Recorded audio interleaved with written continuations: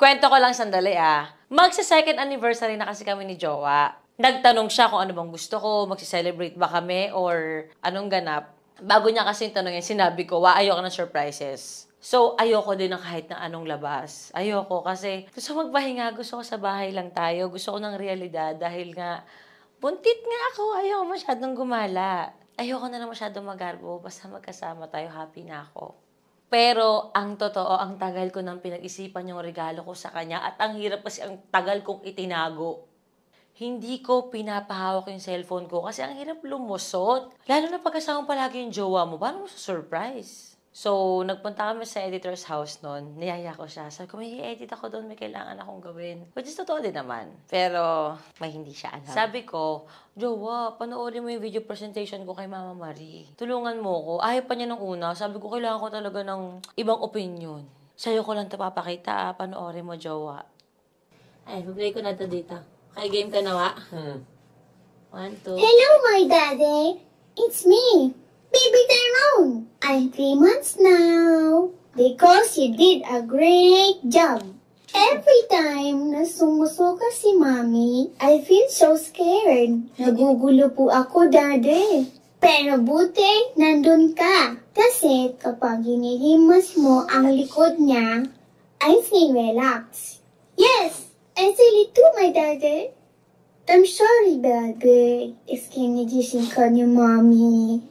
Kasi, kakamuli. I just want to be like you. Big, hairy, and makulit-lit. Every time you make mommy happy, I'm so happy too.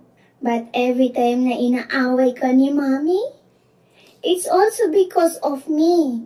I'm sorry, daddy.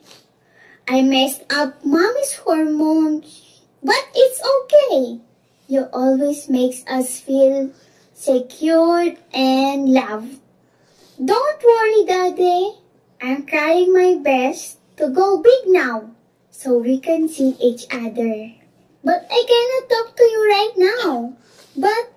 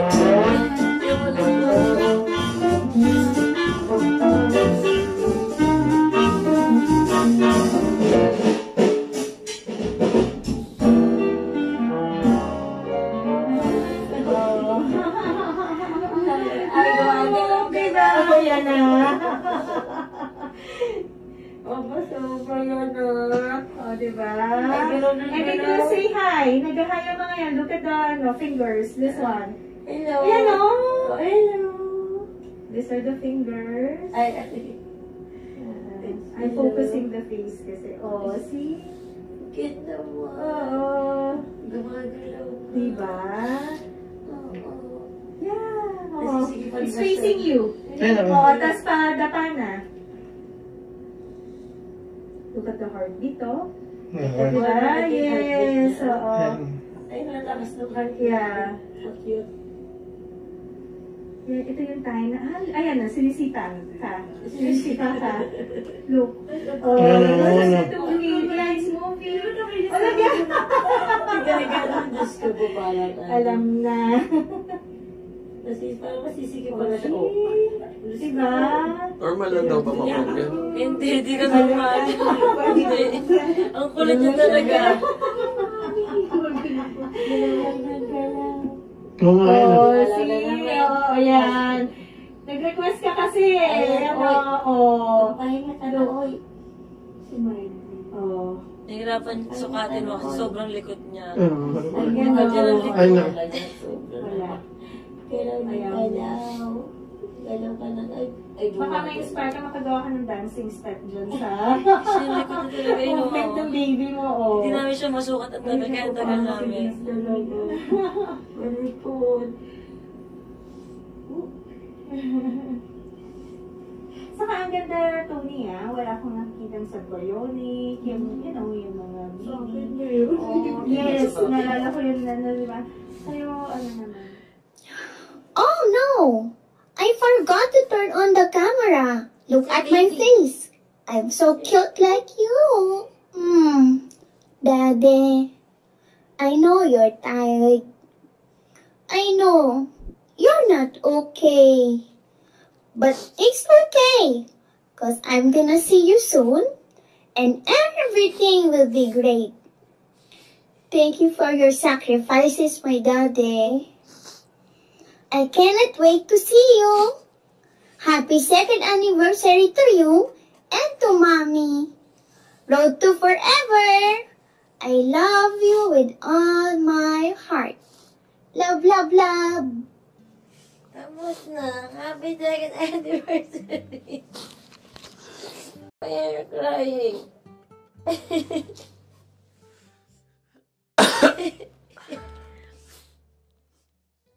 okay?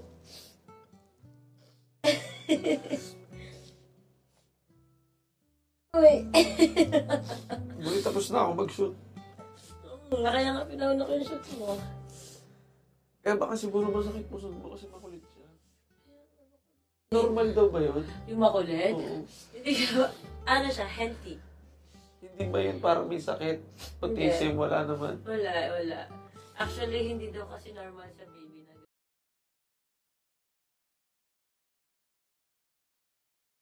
Diba, ganun ako nagpa-check up. Kaya kayo napakatay na ako kasi gusto ko nang umalis. Kasi nga hindi kami makapag-ayos ng edit device.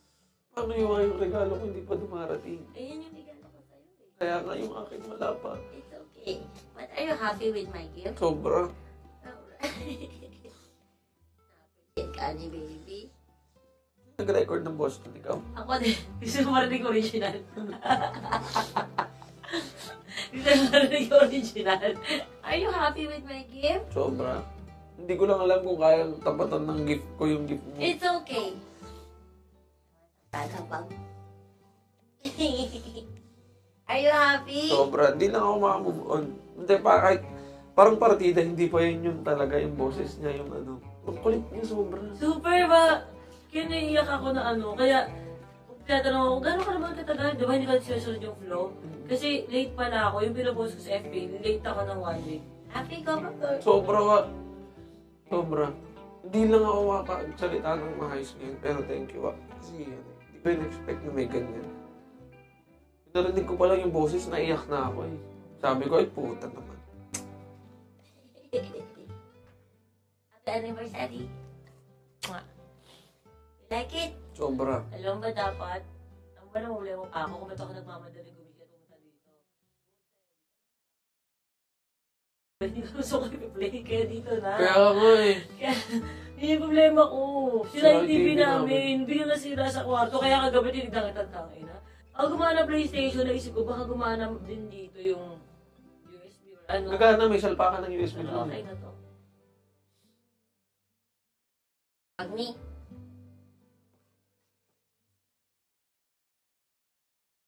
Oo, ayan. Something, something makulit sa loob ng tiyan ko. Sinisipa ako ng sinisipa. Kita mo yan, sinisipa ako. Speechless ako. Hindi ko inasahan na ganun yung surprise sa akin ni Mami. Kasi nagsasabi na siya sa akin at namin.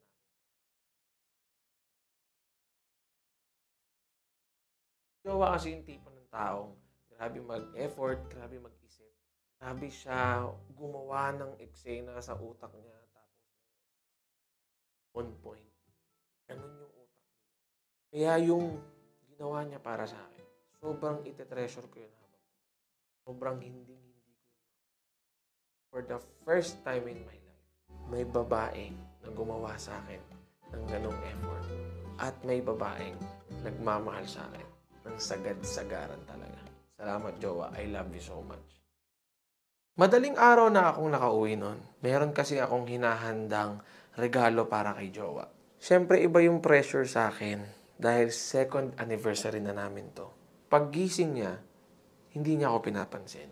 Nasabayan pa nang nakatulog ako nang hindi ko naaasikaso yung pagkain niya. Kaya naman gusto ng doktor yung sabi sa akin pagkain, yung pagkain ko yung pagkain ko. Hindi nga para sa akin sa bata eh. Binibigyan niyo ako ng ganyan. Kailangan ko nga masabaw. Kailangan ko nga magulay. Tapos pag iiri ako, pagkatahi ako, magagamit ka. Ano ko pinapakain sa akin? Prito. Walang katapusang prito. Reklamo na ako. Kanina umaga kumpit na naman. Tutulog ka lang ulit. Paulit-ulit sila. Tapos sasabihin, huwag ako ma-stress. Sasabihin ng doktor, huwag ako ma-stress. Putang ina, hindi talaga ako masaya sa pagbubuntis ko, Vince. Kasi hindi, hindi buntis yung turing niyo sa akin eh. Ako ba kasi kaso ng pagkain? Di ba ikaw ang usapan natin, ikaw sa kanila? Hindi ako masaya sa pagbubuntis ko sa totoo lang. So interview pa about sa relasyon natin. At nakahirap naman ang hinihiling ko. Happy pregnancy lang. Nagbibigay naman ako ng pera. Agad ko lang sinabi sa inyo, wala akong alam sa pagkain. Ang alam ko lang gumawa ng pera. Utang, inaasikaso yung pagkain ko. Tapos, after mamaya ng matinding galit niya, mapapakalma ko siya. Happy na ulit siya. What do you want for dinner later? Tapos, bulalo? Why? That's what for your dinner? Bulalo? Okay. No problem. Sabi na ubus ko naman ba? You want? I'll order yung masarap na bulalo. Okay? Ang totoo niyan, ilang araw na akong nag-aasikaso ng pangregalo ko kay mami. Pupunta ako sa iba't ibang mall, maghahanap ako ng mga bagay na alam kong sobrang kailangan niya at maa-appreciate niya. Sobrang kabisado ko kasi talaga si Jowa kung ano ba yung ayaw niya sa hindi. Nung una pa lang kasi na sinabi sa akin ni Jowa na magkakaroon kami ng surprise sa bawat isa. Ang dami na agad tumatakbo sa utak ko nun. Gusto kong mabigyan si baby mommy ng regalo na hinding-hindi niya makakalimutan pang habang buhay. Kaya grabe ko, pinagpuyatan to, pinagpaguran to. Kasi ayoko ng basta regalo lang. Gusto ko talagang matinding regalo para sa kanya. Yung pinaghandaan, pinag-isipan. At eto na ang totoong dahilan bakit galit na galit sa akin si Jowa at inabot na ako ng madaling araw sa pag-uwi ko sa bahay.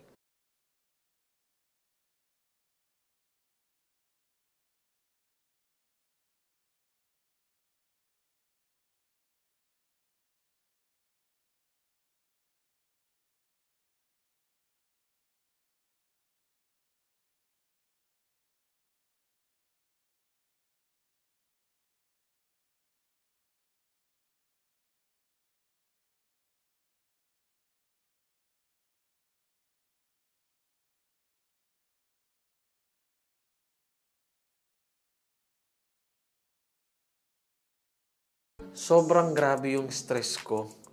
Gusto kong sumigaw, gusto kong manapak, gusto kong magbatong ng lahat ng gamit dun sa paligid ko. Well, hindi ko yung magagawa, first of all, kasi hindi ko naman bahay yun. Bahay yun nila Harvey. Pangalawa, yung, yung inis ba? na sobrang ilang linggo ko tong inisip at pinlano, pinaghandaan, tapos hindi mababasa yung QR code. Inis na inis talaga ako malala. Hindi to kasalanan ng tattoo artist. Kasi marami nang tinatuan si Tutsi ng tao na may QR code and pinakita niya rin sa akin na nababasa. Yung sa akin, hindi. Alam mo yun, yung magsasabi sana ako na, Kuis, baka may mali ka sa tattoo eh. Baka may hindi ka na pulido eh. Gaganon sana ako. Kaya lang, nabasa dun sa cellphone niya na Android. Mga cellphone lang namin yung hindi nakakabasa ng QR code. So, ibig sabihin, walang mali sa tattoo. May mali lang sa kung saan ko pinesto siguro. Or siguro magapa din, antayin ko muna to sigurong numipis man lang bago iskan ulit. So imagine guys yung stress ko nun sa loob ng kwarto na yun. Kahit antahi-tahimik ko, feeling ko yung emotions ko nasa pader, nasa sahig, nasa phone, nandun sa machine ng tato, nasa kung saan-saan. Kahit hindi ako nagsusumigaw, wala akong pinagsasasabi, yung inis ko ramdam na ramdam kong, ah, nasa paligid lang siya. Ang lala. Ang lala nung pakiramdam ko na yun. To the point na gusto ko nang ipaputol yung binti ko. Alam mo yun? Ganun talaga. Tapos, dumagdag pa sa stress ko, kaba ko, or takot ko.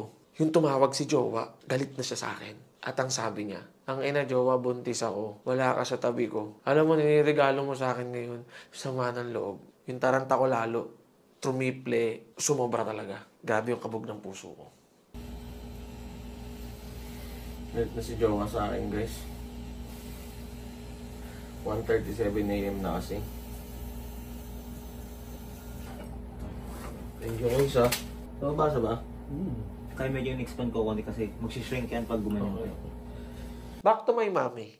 Ito na yung regalo ko sa'yo. Happy second anniversary.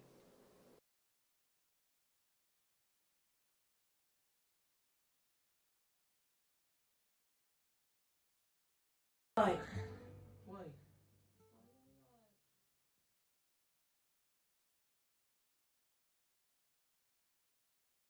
Wait lang muna yan.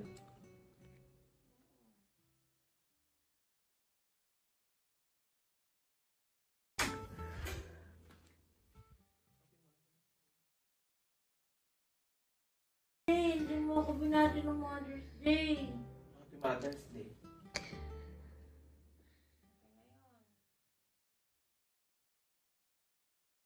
Ano nga ako nalagaluan ng Mother's Day? Yay! Gusto mo yan, di ba? Hmm. Sana yung yun? Ito ba yun? Yung black? yung black? Oh my God! Wala na mas maganda sa personal. Hi, thank you. Happy Mother's Day. Press kami ni Daddy. Mm-mm, Ito naman yung black na isa. You like it? Yes. I like it. Thank you. Wait, there's more. There's more? Charlie naman magregalo ni Tyrone niya. Happy second anniversary. Happy second anniversary! Alabag. Alabag to. Yes! Hello!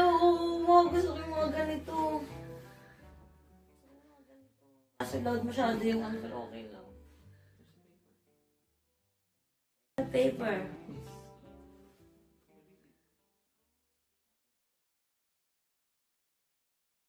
Please scan the code. Code? Where's my cellphone?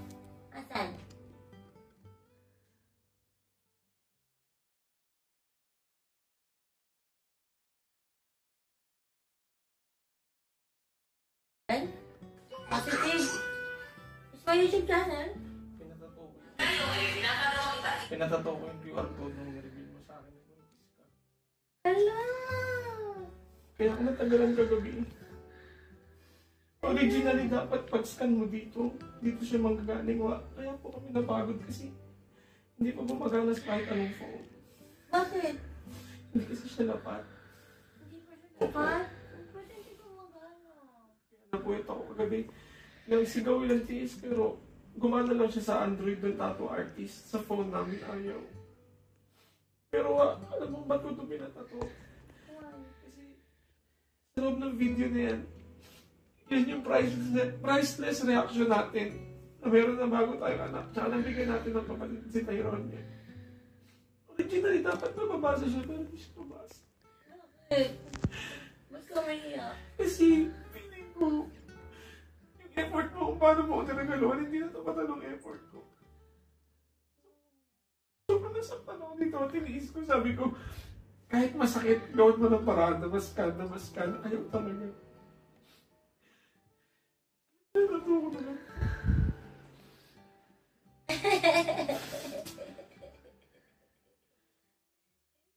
Oh, wow. Ito yung team song natin. Kahit anong mangyari at may worst, magkasama lang tayo mabuhay. Happy second anniversary. Patado. Kasi wa ito yung sign na hindi na ito mababura habang buhay na nakatatak sa akin. Parang tayo, ikaw si Tyrone and si Tyrone. Kaya ako siya dito pinesto kasi para sa kahit saan lakad ko kasama ko kayo. Sana nagustuhan yung regalo ko sa'yo. Oh, sobra po. Hindi siya maskan. Bakit ba hindi ka magka? Wala naman. Lahat. Sabi ko, gusto ko na matapos. Bali siya ng pagkakatato. Hindi. Hindi siya flat surface. Sila sa binti ko. Pero sa cellphone no, tattoo artist na babasa siya. Sa mga iPhone hindi. Pero ito yung regalo ko. Sabi ko, hindi pwede. Malaman lang ako ipapalit dito na surprise. So, at my worst, ito yung team song natin. Happy second anniversary ba? Tagal ko agabi ko nasa tabi mo. Kasi binuwiat ko talaga to ha. Sensya na kanina kung wala ako sa tabi. Kala-RV, the whole time naka-RV lang ako. Nagustuhan mo ba yung gift ko?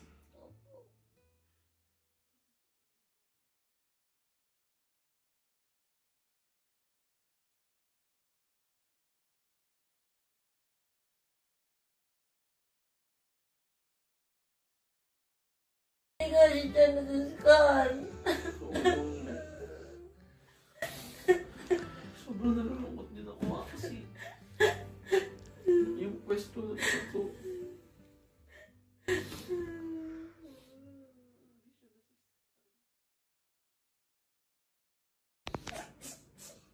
Kaya pinascan ko sa isa cellphone ko.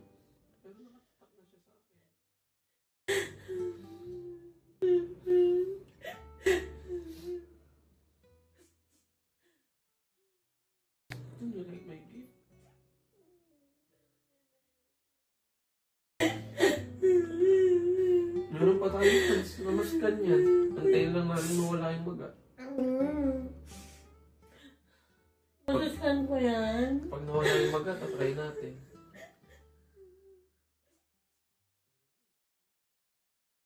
At least, at my worst, it's your music. Press. Press.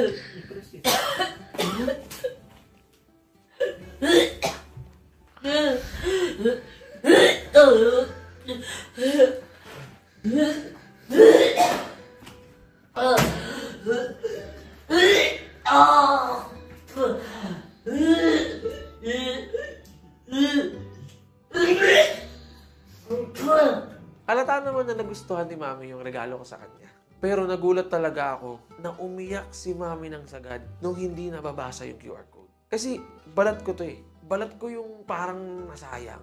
Tapos biglang siya yung umaungaw. Siyempre, kahit bagong suka yan, ikikis ko yan. May suka. And then you kiss me. Second anniversary. You like my gift? The bag, the sword, the tattoo. Ito ka na. Yes, pag... Ma- Tingnan natin to pag nawala na yung baga. And then, pag di pa, nagagawa ko paraan. Okay? But, Successful pa din yung second anniversary gift ko kay Jowa. Ramdam ko na super nagustuhan niya lahat ng regalo ko sa kanya. Still, siya yung nag-overreact doon sa QR code na hindi mascan. Naawa siya sa akin, pero natouch siya. Na-realize ko na the best gift na nabigay namin sa isa't isa ay hindi basta regalo lang, kundi regalong memorable.